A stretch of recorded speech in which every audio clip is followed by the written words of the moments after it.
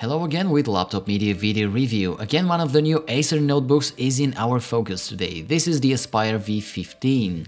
In this mainstream series, you can find it under a lot of different specs and prices and different name as well. You can find it under V3 or V5 name, but basically it's one and the same concept with different specs and prices. This is a design we are already familiar with, but now in 15.6 inch version bringing nice refreshing look to the laptop. The construction is nice and solid and the aluminum texture on the screen backplate is nicely crafted, leaving the impression of an elegant and stylish notebook under your palms. Most of the construction is made of plastic, but it still feels durable enough to trust it during some rough time with the laptop. Trackpad is big, providing you nice surface where it is absolutely easy to smoothly move your fingers on and precisely control your computer. That was a very nice surprise to me. This notebook is part of a product line that is supposed to offer a wide range of tech specs and of course aiming to meet the needs of people with more budget limitations. You can find it in a higher price bracket with 6500HQ or 6700HQ from the Skylake platform. There is a variety of specs down here. Apart from being very powerful CPUs, they also host the capable Intel HD Graphics 530.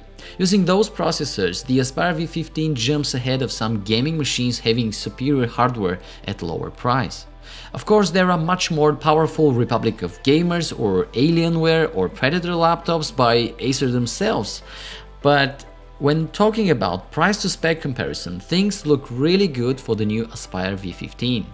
Graphics is provided by Nvidia, the GTX 940M or GTX 950M, very nice solutions with up to 4GB of GDDR3 memory. Yes, it is not the more capable and popular GDDR5 used in many other high-performance models like 960 for example, but this is a laptop of a different price category after all. So that is quite understandable. Overall, it looks pretty balanced in those terms. It will give you serious power anyway, and if you are not some hardcore gamer, then you will most likely be absolutely satisfied by the performance of this laptop. The powerful hardware affects the battery and it will give us a bit lower results than what we used to see from such battery. However, you can still rely on almost 4 hours and a half of web browsing as well as over 4 hours and a half of video playback. Gaming is reduced to just around 2 hours approximately, but this is still considerably good result when the device is under high performance pressure.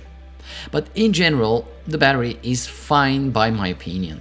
Screen is pretty standard in terms of panel, this is a TN matrix, but in terms of color performance, it is absolutely great.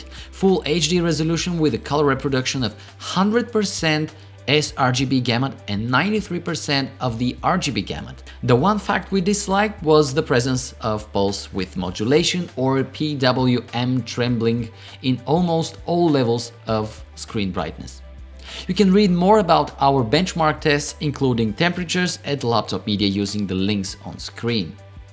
Overall, my impression of this laptop is pretty positive. It has a nice design, not too thick and heavy and offers good balanced price to spec ratio, very good touchpad and backlit keyboard which is also cool and of course fits variety of specs and budget limitations. So definitely it is to be considered as a nice alternative in the mid-range class laptops. Read more about it at laptopmedia.com and compare it to other competitors there of course. Our benchmark ranking will help you in that.